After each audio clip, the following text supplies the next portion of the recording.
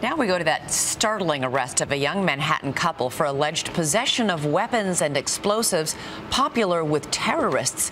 She was nine months pregnant and gave birth to a baby girl in custody. ABC's John Muller has more on the strange story. She is from a prominent family on New York's ritzy Upper East Side. He is a Harvard graduate.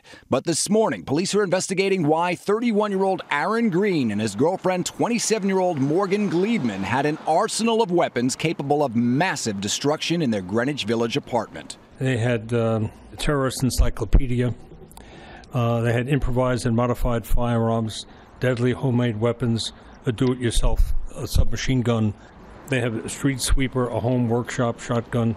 Police had been investigating Gliedman for credit card fraud when they received a tip from a couple Gliedman and Greene invited into their apartment.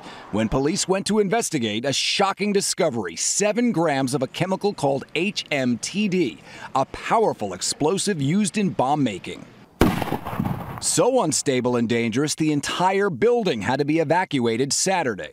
Police also seized a flare launcher, a sawed off 12 gauge shotgun with dozens of shells, nine rifle magazines, and various how to manuals on building bombs and booby traps. My best professional guess is that they are just two very uh, drug addicted, delusional people that got into this sort of way of thinking of it's, it's sort of us against the world.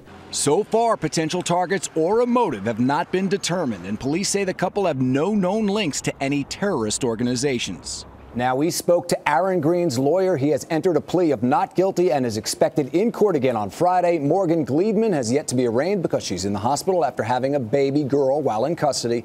We have been unable to reach just about anyone for comment on this. Police say the couple admit to being heroin users. A lot of questions here. So many strange oh twists. Okay, John, thanks very much.